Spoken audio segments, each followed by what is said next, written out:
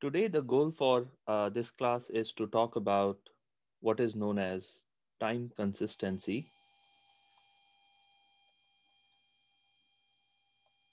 of optimal solution or optimal policies.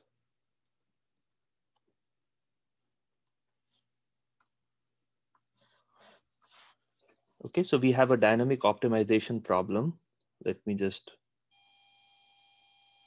um, minimum of summation, or let's say j of u0 to ut minus 1 such that xt plus 1 equals to ft xt ut. And I'm sure you have uh, solved several problems in the current assignment where you have to solve problems of this type and you know for sure what kind of solutions you expect to get under certain reasonable assumptions on the cost function and the state transition function. So this minimum is over u naught to ut minus 1. And this is known as the Pontryagin maximum principle or Pontryagin minimum principle. The other option is to formulate the problem over closed loop policies. So it's the same cost function, except that now we are looking for policies gamma naught, which maps the state oh, sorry, gamma t, which maps the state at time t to the action set at time t.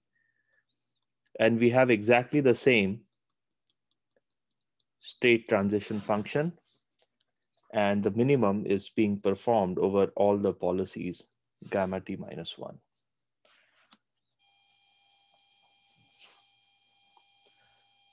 This was solved using dynamic programming.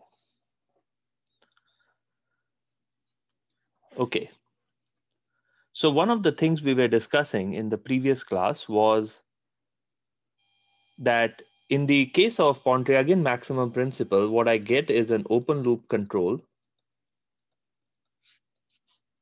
And this open loop control depends on X naught, but it doesn't depend on the intermediate states. So, so each of these UT star is not dependent on XT, uh, the state at that time.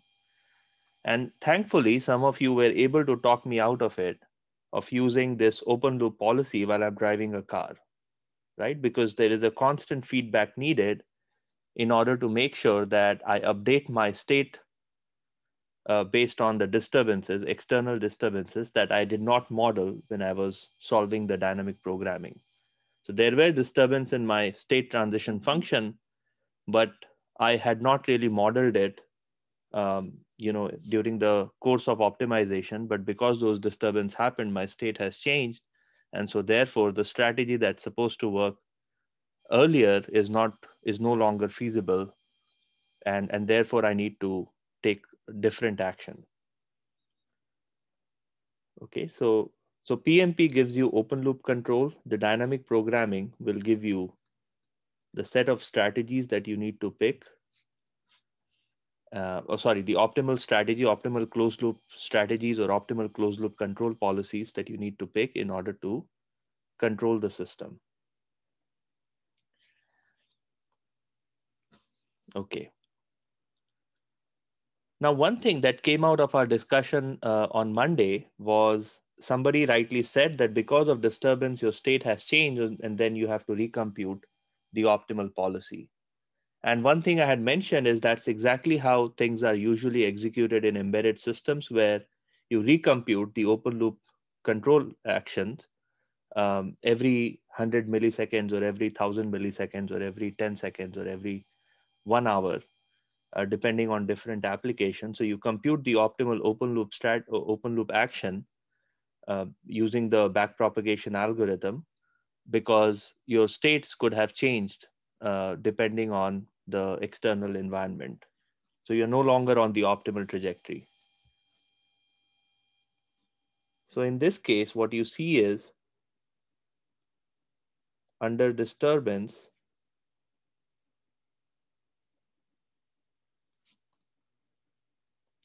we are not at the optimal trajectory.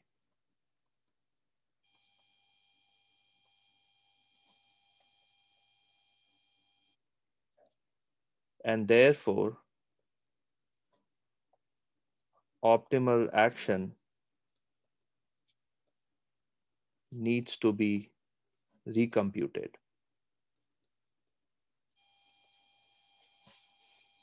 Now, what happens when you have closed loop control is under disturbance,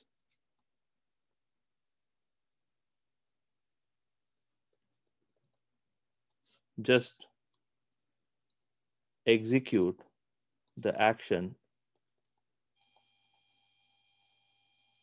according to the optimal policy.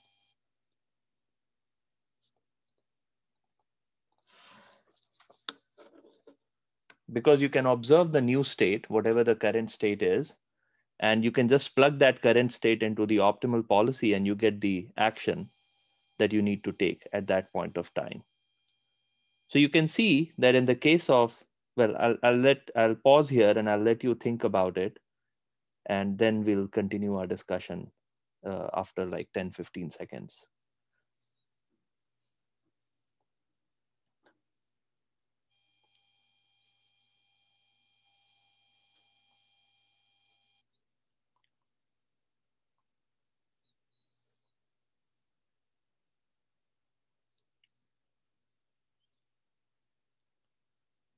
Okay, any questions so far on what we have discussed?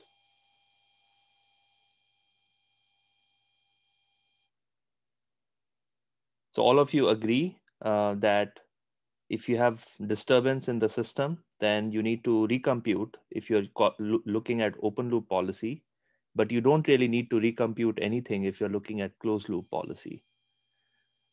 And that's the difference between weakly time consistent optimal solution and strongly time consistent optimal solution. So let me write weakly time consistent optimal policy. So what's the definition? So U0 star to UT minus one star is weakly, let me just write it in short form, WTC OP, weakly time consistent optimal policy, if and only if UT star to UT minus one star is optimal for the rest of the horizon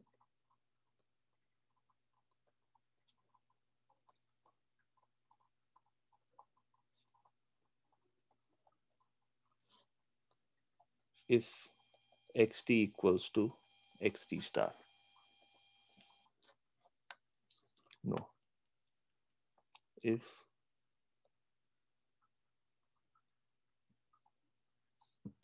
uh,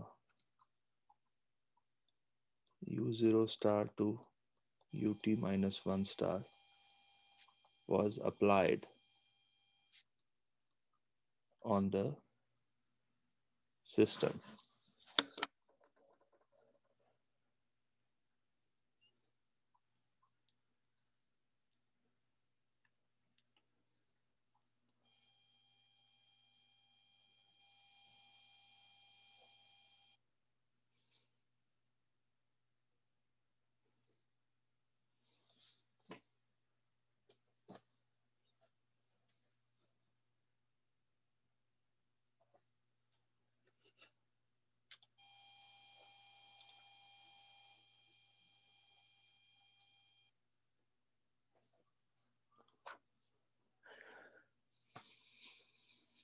Okay, so if you have executed the optimal set of actions until time t, then it is optimal for you to execute the optimal actions in the future. Okay, then it is called weakly time consistent optimal policy. Any question on this definition?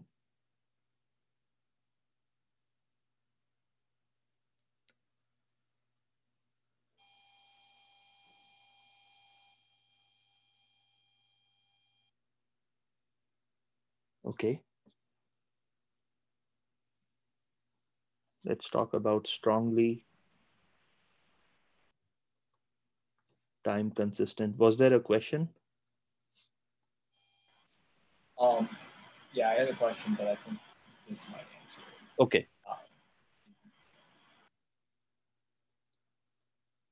Optimal policy. And let me just write it.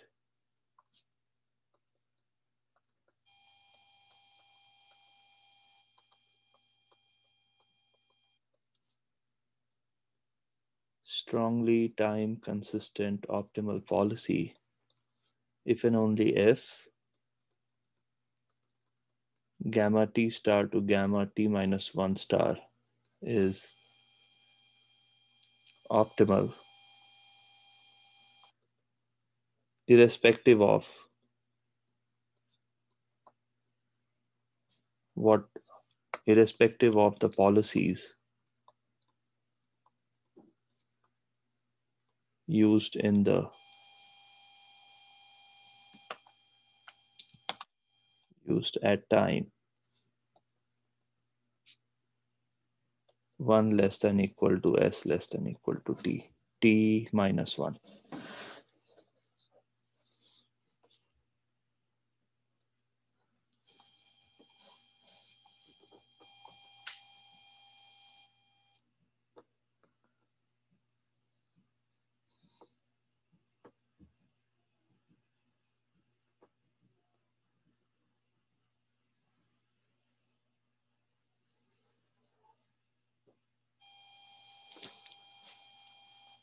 Okay, and I want you to look at the two definitions and tell me the policy that comes out of dynamic programming, what kind of policy is that? And the policy that comes out of PMP, what kind of policy is that?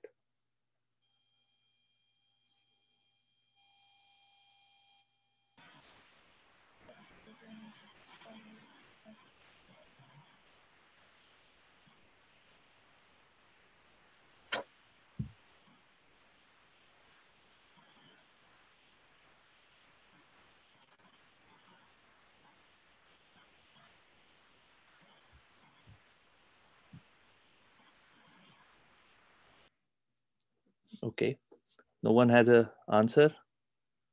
First one is the open loop policy. Right. So the weakly time consistent is this is the PMP, the policy you get from the Pontryagin maximum principle. That's a weakly time consistent policy because you have to be on the optimal trajectory in order to apply the rest of the optimal solution that you have obtained. And what we had discussed in the previous lecture was when you're driving a car, you have not modeled the environmental uncertainty. Because of those uncertainty, the overall trajectory has changed. And therefore, uh, the policy you had computed at the beginning of time is no longer optimal. So you need to recompute the policy. Maybe I should add here that the states visited were x naught to xt star.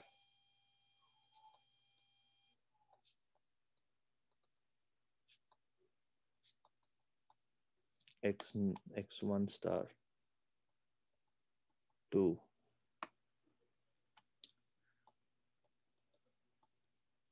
xt star.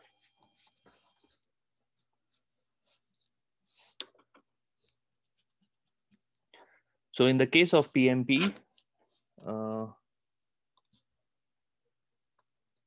what you get is a weakly time consistent policy in the case of dynamic programming, what you get is a strongly time consistent optimal policy. So irrespective of whatever you have done in the past, uh, you know, if you're applying, if you're using the dynamic programming based optimal policy, you can just choose to pick the optimal policy for the rest of the time as the one that you computed using dynamic programming. You don't have to recompute uh, the policy uh, at time t all the way up to t minus 1 because you have done that once and that's it. That's the optimal policy.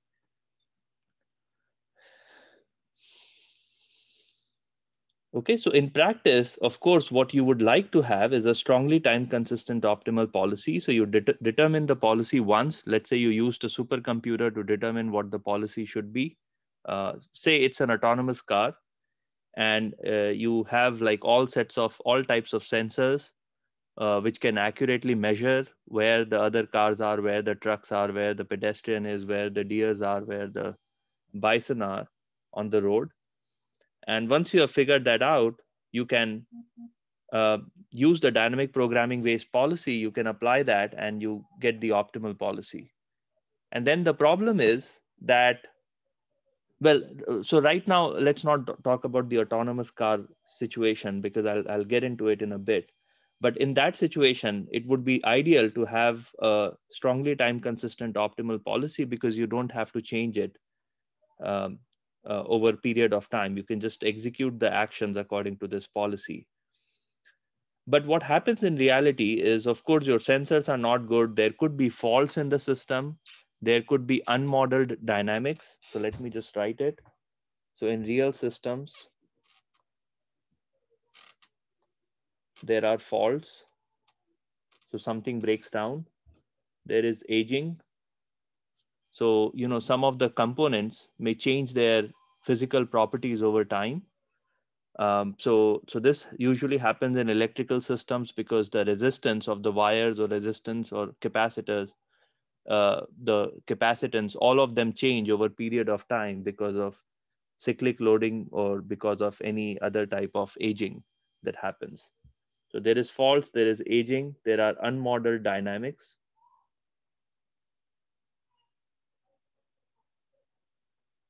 So you designed an airplane and you assume the steady flow behavior for designing the airplane, but when you are actually flying the aircraft in the air, uh, there are turbulence.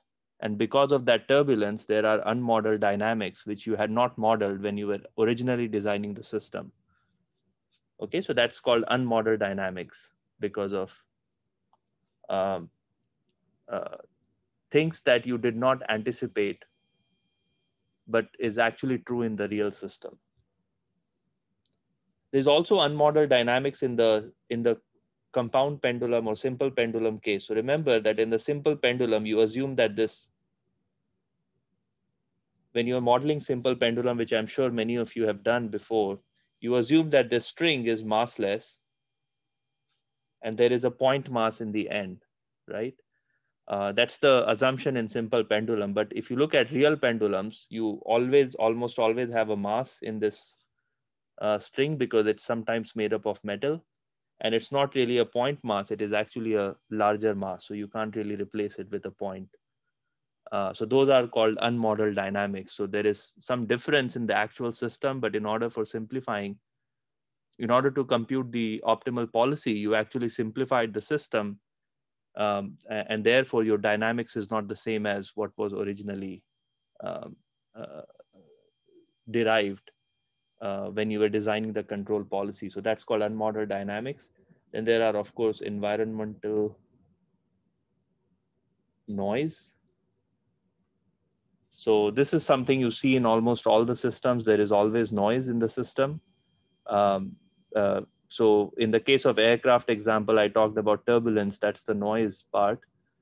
Um, in the uh, case of uh, driving a vehicle, there are pedestrians, there are animals, there are kids playing on the street, and all of those form the overall they are the environmental noise. There are other cars on the road and the drivers may be swerving left or right uh, something that's that you don't control and therefore those are environmental noise that you have to deal with.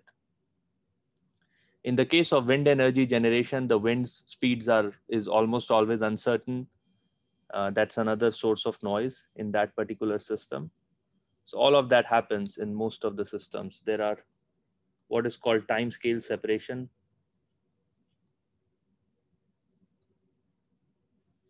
So uh, this usually happens in uh, in a lot of complex systems where you assume so you send a command to a lower level system and you kind of assume that the command will be or that trajectory will be followed but what happens in the lower level system is it has its own dynamics so it doesn't really accurately track the trajectory um, it sort of approximately tracks the trajectory. Uh, and so that leads to uh, also disturbances on the higher level system. So you have a higher level system, it's sending commands to all the lower level systems. But the lower level systems, instead of tracking the trajectory that the higher level system asked it to track, let's say this is what it said this system to track, it basically tracked almost the same trajectory, but with some small noises. And this, from a higher level systems perspective, this is sort of uh, a noise on the system, but that's that noise is coming because of the lower level system. Uh, so this is kind of stuff that happens in all real systems. So no matter which real system you pick, you will have these situations. And therefore, uh, the weakly time consistent optimal policy needs to be recomputed every time the state transitions or every every few times the state transitions.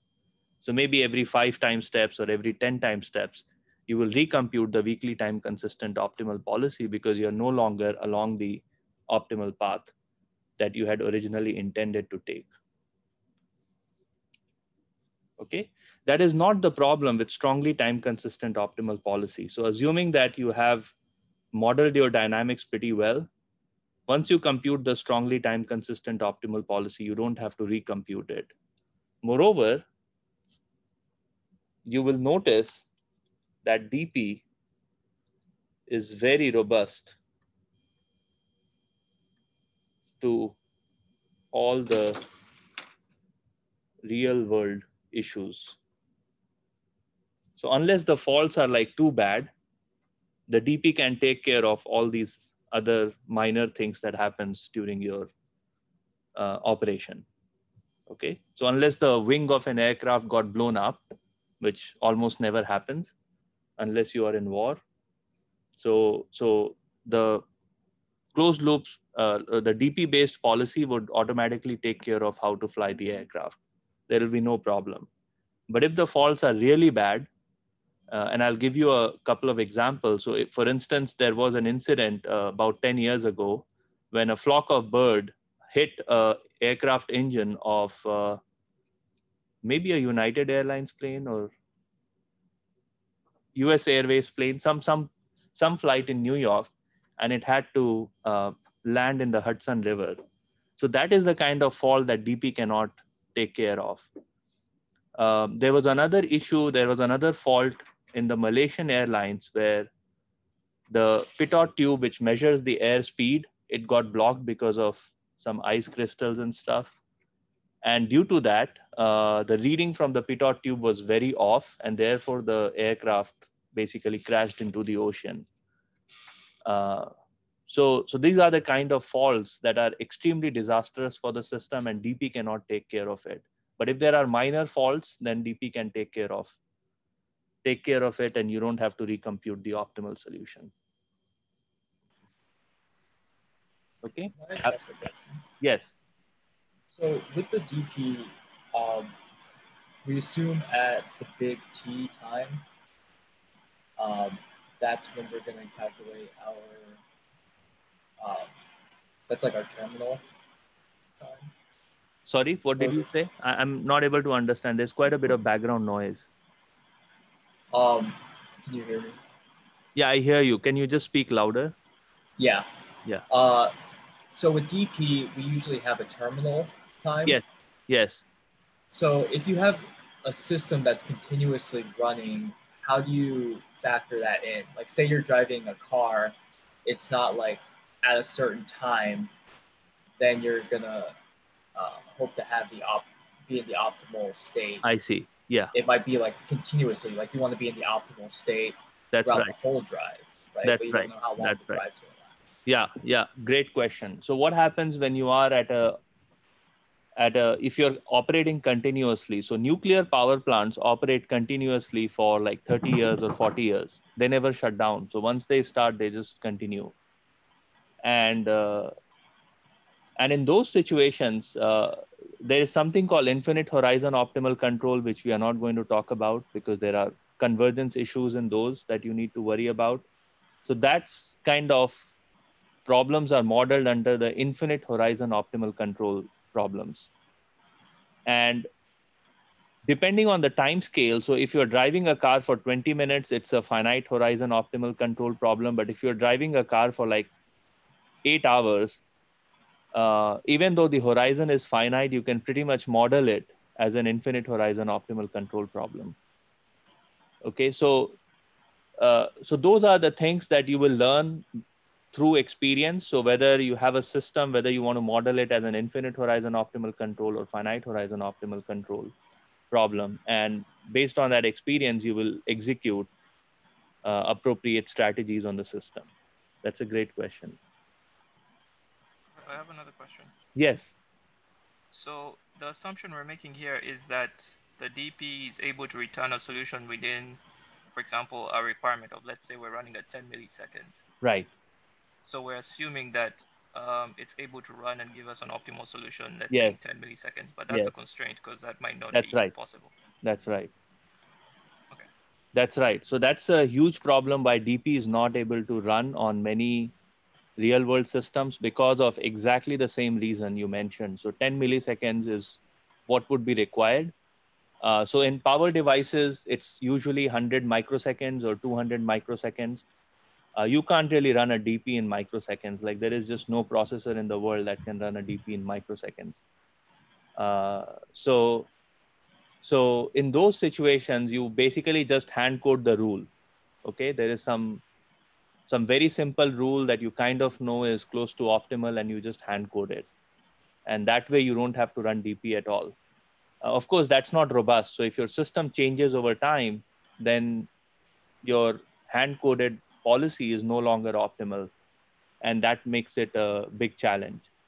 Uh, so, however, let me tell you about a recent project that we completed. So there, there was a requirement that we need to run the DP within 100 milliseconds, and we were able to execute DP within 100 milliseconds by adding a bit more computational machinery, and by uh, so so we did two things. We added the computational machinery, and the second thing was we kind of knew what the optimal trajectory was. So we constrained the DP. We added constraints to the DP so that it wasn't really looking for a solution in like very far off places. Um, so that way we were able to execute the entire DP within 100 milliseconds, uh, you know, on, in a continuous fashion. So you will have to apply some tricks, which are very much application oriented tricks uh, based on the computational power on board in order to make sure that the DP runs every X milliseconds that is required for the operations. And if you cannot prove that, if you cannot get that, you do Pontryagin maximum principle. If you cannot do that, you just hand code. You don't care whether it's optimal or not. As long as the system works, you are happy with it, you just hand code it. Does that make sense? Yes. Um, so in another scenario, you would potentially say, um, run your DP on a longer time scale right. and have maybe a value function approximation. Correct. And then when you run the DP, you update the value function. Right. Okay. Yeah, that is called limited look ahead policy. You approximate the value function and then you uh, just do one step or two step DP while you are on operations. And that's also a feasible way to execute DP very quickly on the systems.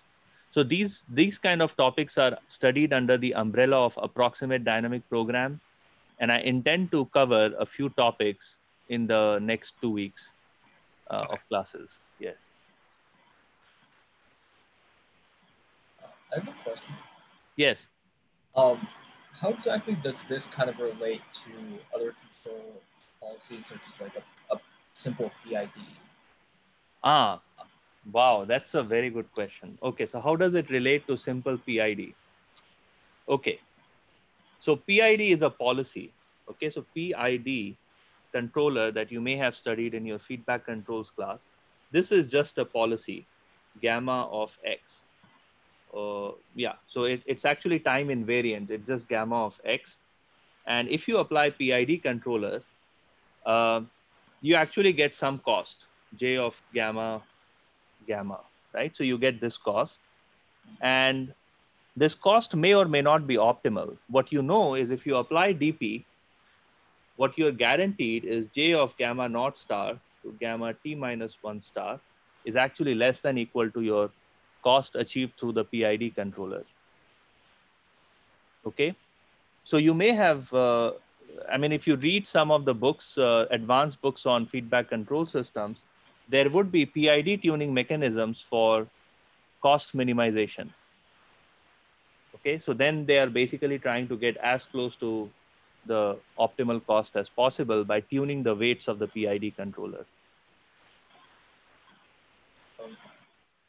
Okay. So dynamic programming is uh, guaranteed to have a loss that's that's right less than yeah so this is the set of all policies all feedback policies. Uh,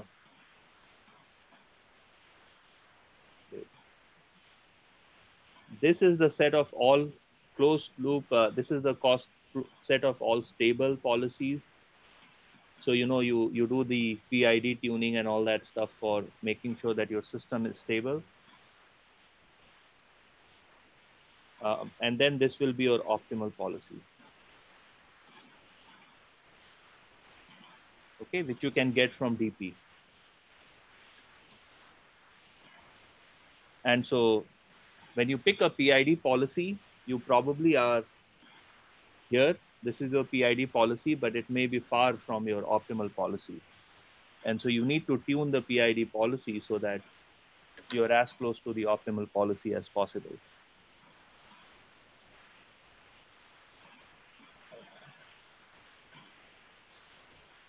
But then with the PID, you don't even know necessarily what time. Can you speak a little louder? Yeah. Uh, so with the with the PID, because you only have one policy, right? You don't necessarily need to know, uh, like at what time. Correct. This needs to be complete. Correct. Correct. The optimal policy. Is. Right. Right. Right. So one of the things that you can do is suppose you have to apply PID controller is you can do what is called gain scheduling. So your PID gains change over time. Uh, so you basically read the gains through a microprocessor and then you apply those gains into your system and uh, that sort of could be close to the optimal policy because you now have a time varying policy and along every time segment you try to be as close to optimal as possible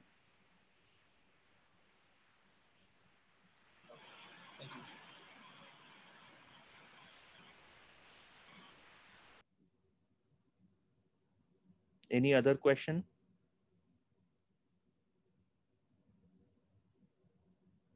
I'll give you another example of this robustness of DP. Actually, I'm quite quite a big fan of this robustness property of dynamic programming.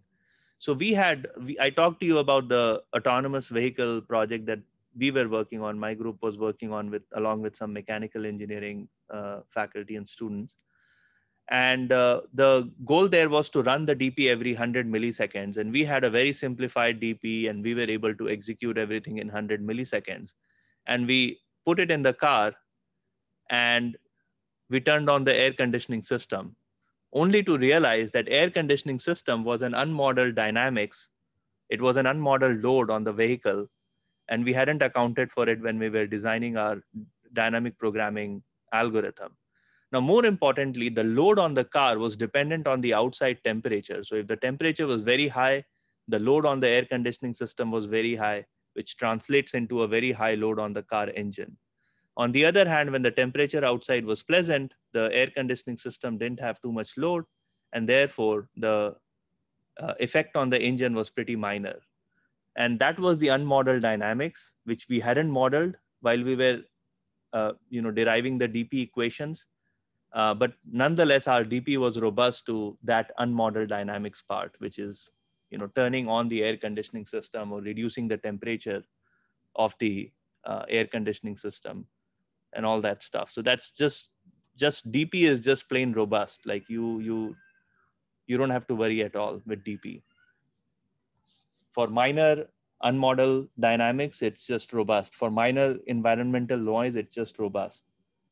Um, but it's not robust if you have like very sophisticated faults like your pitot tube not working or your airspeed sensor not working or you know your car breaks down like the powertrain is not working or something like that then that's a pretty major fault and dp cannot take care of it. But for most of the other situations dp can take care of the uh, overall system.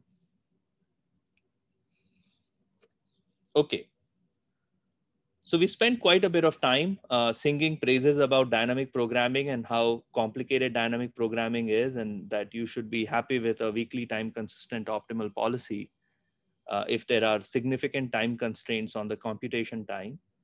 And if you have even more stringent time constraint on the computation time, you basically just hand code the policy. You apply a PID controller or something because there is no way on earth you can uh, do any computation in, in real time.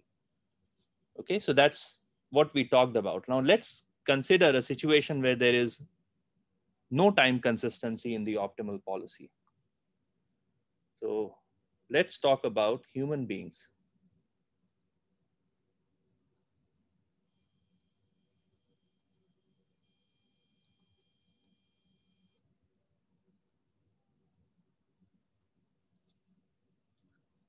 Okay, so I'm going to give you a couple of examples where human beings uh, uh, have time inconsistent optimal policy.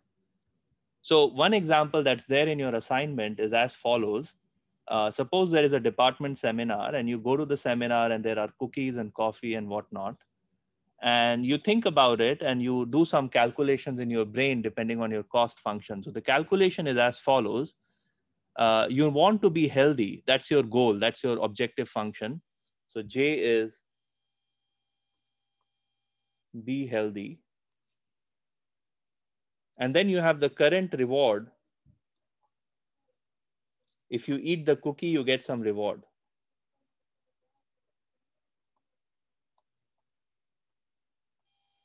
And then in order to compensate, because you want to be healthy, in order to compensate for the fact that you are eating the cookie, you want to go to the gym. So tomorrow morning, so future, future reward is go to the gym. Now, this is the optimal policy that you computed in your head when you entered the seminar room and you saw the cookies there. That, okay, I'm going to eat the cookie now, and tomorrow morning I'm going to go to the gym and I'm going to run like, I don't know, one mile extra in order to burn all the calories that I've received from this cookie. And you eat the cookie and then tomorrow morning you just shut you know you you turn off the alarm and you just sleep away to glory and you wake up and you just go to your first lecture. So how many of you have executed this strategy before which is you thought you will do something tomorrow and then you actually didn't do it when the time came to execute that strategy execute that action how many of you have done it? So you can you can just maybe write in the chat box and i'll give you the number. How many of you have computed the optimal policy and then not stayed on the optimal policy? Okay so looks like almost everyone not everyone but yeah most of the time okay. Okay so in the chat window i'm seeing that almost everyone has this issue that you compute an optimal strategy for yourself. And when the time comes to actually execute that optimal policy, you just don't execute it, right? It has happened with almost everyone. So in fact, what happens is human beings, what this means is theorem. This is an empirical theorem. So human beings have time inconsistent optimal policy.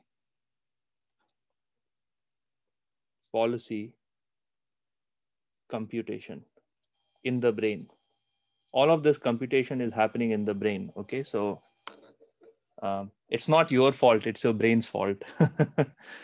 Uh, so human beings have time inconsistent optimal policy computation uh, because you uh, you try to compute the optimal policy, but you don't have the motivation to stay on that optimal track.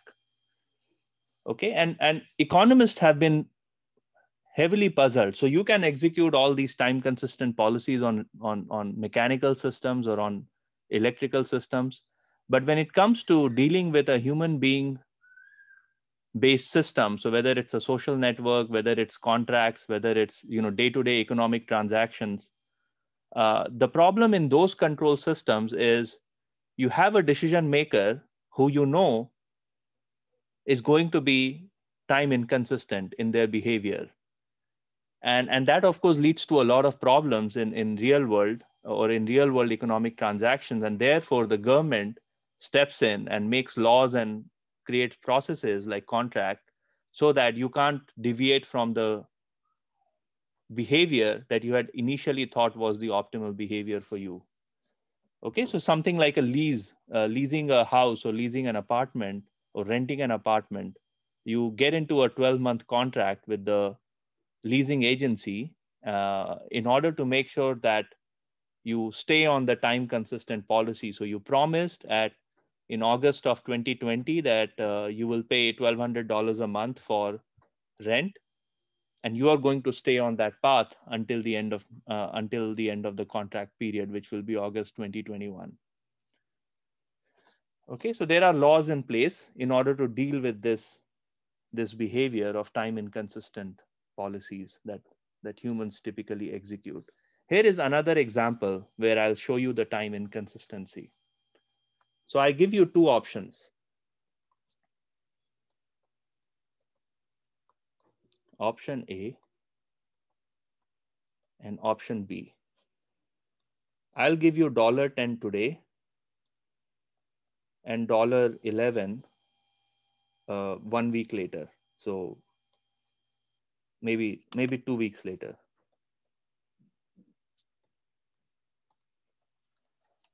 Okay, which of the options are you going to pick? $10 today versus $11 two weeks later. Which of the two options are you going to pick? Again, uh, write in your chat window.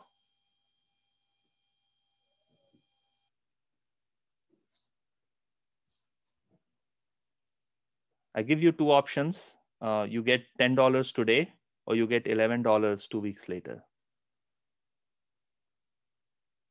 Come on, someone write $11. Almost everyone is $10. Okay, a few people want to get $11, but most of them want $10 today. Okay. So this is the, this option is the most picked option in the class. Now let me change the option slightly. You have $10 a year later and $11 a year plus two weeks later. Okay, now tell me which option are you going to pick? Again, write in the chat box.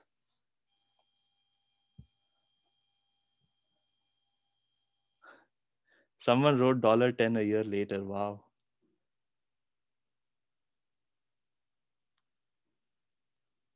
Okay,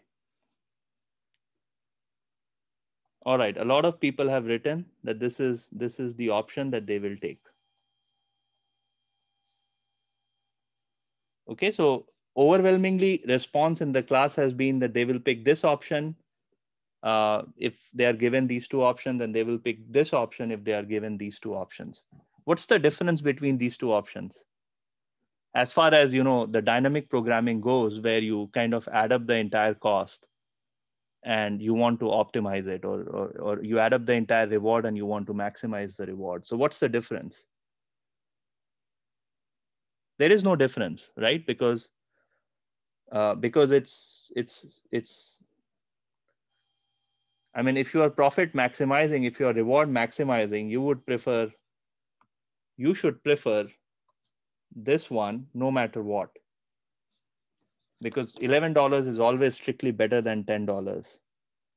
But by the nature, by the way nature has wired human beings, and for that matter, most of the animals, uh, we have a time scale separation in our head. So we have something. So when it when things are in a much shorter time scale, we want everything to happen today. But when things are going to happen over a long time scale, we want good things to happen, even if it comes with slight delay to you which is this two weeks of delay. So you want good thing like dollar $11 to come to you uh, two weeks late, I mean, one year, two weeks later, because you can wait for two more weeks given that you have waited for a year. Uh, but when time, when things come for immediate reward, uh, you don't want to wait for two weeks just for like one dollar extra. You want to get everything today, um, you know, even if it is slightly less amount. And this is another sort of dynamic inconsistency that human beings exhibit um, in our in our day-to-day behavior. Okay, so this is another instance of time inconsistent optimal policy. So we are just time inconsistent because just by changing, just by moving the time axis, what I'm able to show you is that you switch your optimal policy. Okay, and this is this is true for like a large number of day-to-day -day interactions uh, that people have. So it's not just you who are taking picking these these options uh, psycho psychologists have done this experiment over several years and they have found this to be the common theme across all types of people, no matter whether they are college graduate, they are not graduate from any of the universities. It doesn't matter whether you are rich or poor. It doesn't matter whether you are um, uh, highly educated or not highly educated. You exhibit these type of these type of behaviors um, uh, you know, by the virtue of being a human being. Okay, and now of course, uh, it is of interest to economists to model or economists and psychologists to model uh, mathematical equations so that the optimal solution would exhibit this kind of time inconsistency. And one such uh, model is provided in your assignment I'm sure all of you have done it, which is the hyperbolic discounting.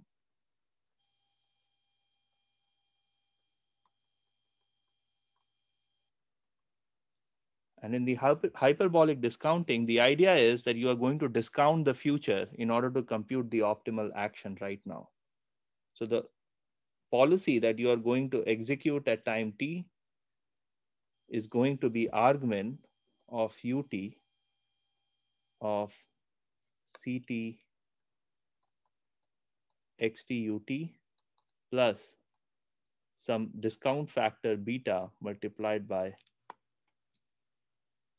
s equals to t plus 1 to t minus 1 ct cs plus c, c capital T. So you basically discount the future, beta is in 0 comma 1 so you discount all the rewards you're going to get in the future or all the cost you're going to incur in the future, you're going to discount it. And for the current uh, cost or current reward, you're not going to discount it. So this explains some of the behavior that I talked about earlier. Um, so, so hyperbolic discounting is one such mathematical model, but there are many, okay? There are many depending on uh, you know different situations how people behave there are many models uh, economic models as well as psychological models for that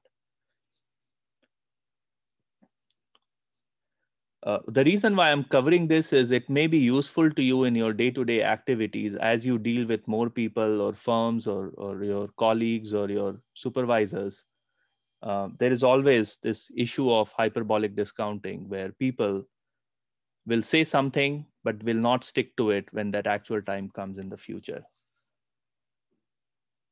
Okay, so now you know the mathematical model because of which that happens. Any question so far?